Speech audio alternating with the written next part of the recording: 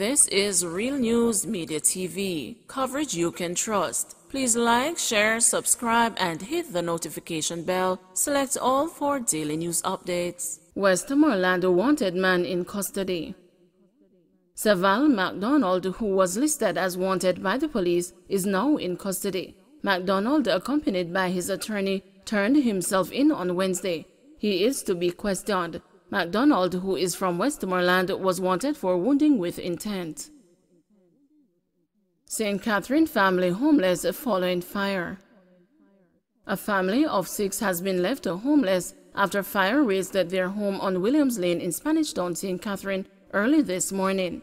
It is reported that about 2.46 a.m., fire was seen coming from an abandoned house. The flames then spread to the two-story premises occupied by the family, which included three adults and three children.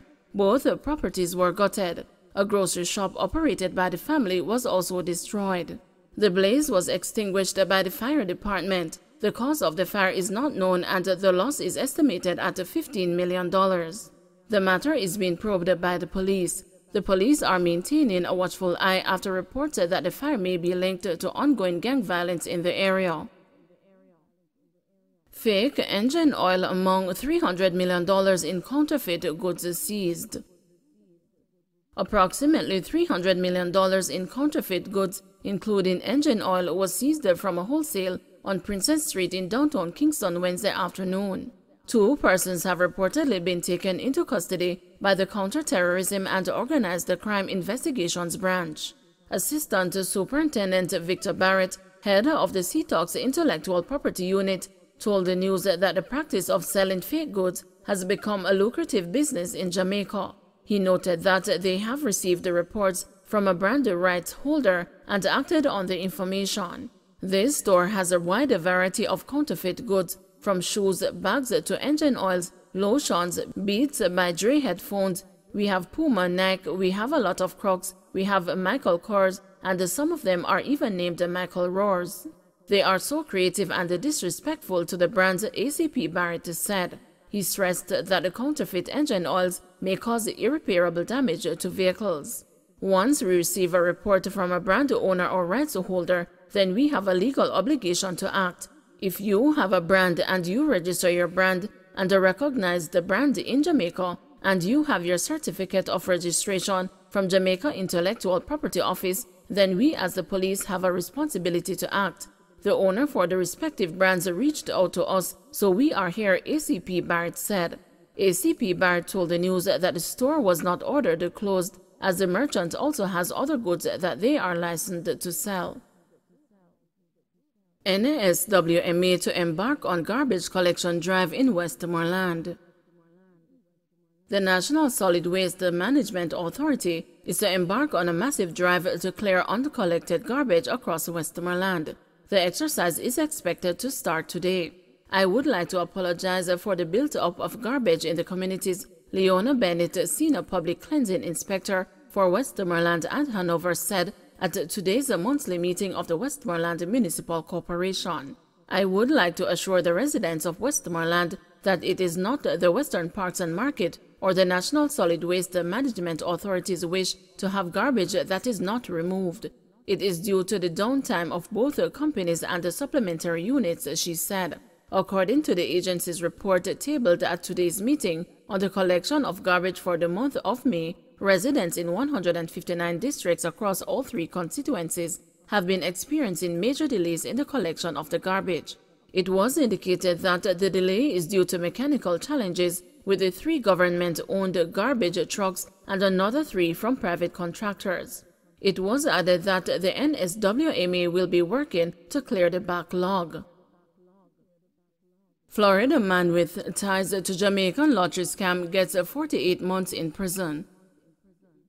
A Florida man has been sentenced to 48 months in prison for his role in a lottery scam with ties to Jamaica. Sheldon Sean Hibbert, 43, was sentenced last week on charges of conspiracy to commit money laundering. Hibbert had pleaded guilty to the offense. The court heard that he participated in a scheme where scammers called the elderly victims and falsely stated they had won a lottery. To receive their winnings, the victims were told they must first submit money for taxes and fees. Hibbert's role in the scheme, the court was told, was to help launder the fraudulent proceeds to Jamaica on behalf of his co-conspirators. As part of his sentence, the court also ordered a forfeiture money judgment against Hibbert totaling $196,523. A restitution hearing has been scheduled for August 5. St. James Southern MP wants police to meet with thugs for crime solutions. In the wake of the spiraling murder rate in St. James, Minister without portfolio in the Office of the Prime Minister, Homer Davis, is proposing that the police invite gang leaders for a sit-down as part of efforts to tame the crime monster. According to police statistics, between January 1 and June 6, 104 people were murdered in St. James, which is 26 more homicides when compared with the corresponding period in 2021. I am really agonizing over how we intercede with the gangs that are creating havoc in our space. I have a thought process, Assistant Commissioner of Police Clifford Chambers. I think if we can get the combatants, the leaders of these groups, gang together and put them in a space and say, listen, tell me now where you are fighting for. Tell me what do you want? What do you need? What can we do to appease you? Davis, who is also member of parliament for St. James Southern, suggested. My take on it is that police have the information on all the violence producers in the parish. Why don't we start pulling them together, bring them together in a room and say, eh? listen, you are G6 and you are G7 and you are 87. I am serious. What is the problem?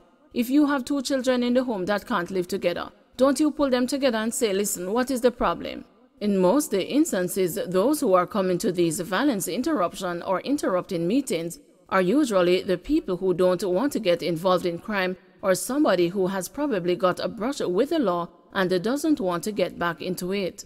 Davis underscored that a different approach is needed to cauterize the rampant bloodletting in the parish, but was quick to add that the police cannot tame the crime monster by themselves. Let me tell you, Commissioner, we have a big problem. We have 300 active gangs across Jamaica, and to be honest with you, with the best will in the world, the police alone can't manage. Don't make we fool ourselves. If we have a police on every corner, which we can't afford, I doubt if we would be able to manage it, he argued. We have to develop different approaches. Legislation is good, but legislation is not the all. We have the anti-gang legislation, and I have said over and over, if we continue on that same trajectory, we are going to choke the justice system. You can imagine 60 members of various gangs before a court with 60 attorneys with 60 cases. All I'm saying, Commissioner, I am in sympathy with the guys, but the strategy, in my opinion, needs to be revisited. I know you're doing a lot and you have the intelligence base and you have the this, but let me tell you, when two people plan to shoot up a house, you don't know. You can't know. But what the police do know is where the attacks are coming from and who are the responsible characters.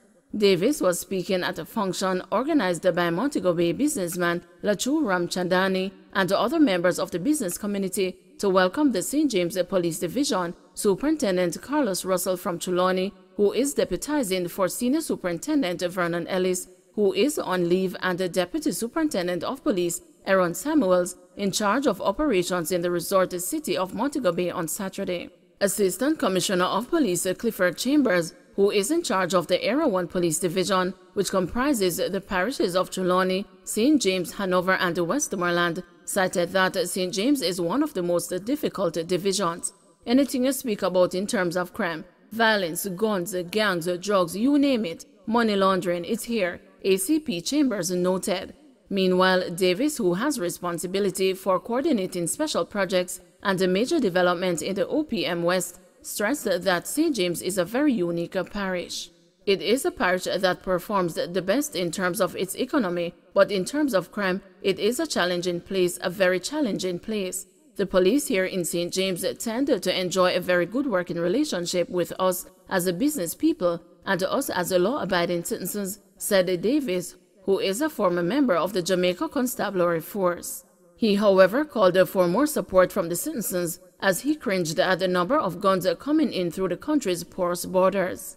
We need more support from our citizens. Imagine on our highway you stop a vehicle and you recover nine firearms including three M16s plus six other weapons.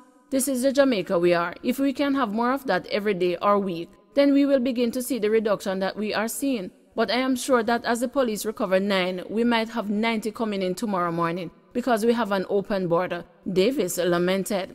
He gave his commitment to give whatever support he can to the police.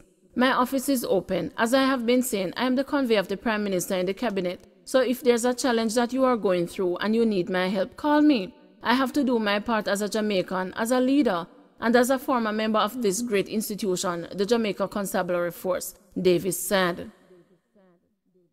Don't forget to like, share, subscribe, and hit the notification bell. Select all for daily news updates.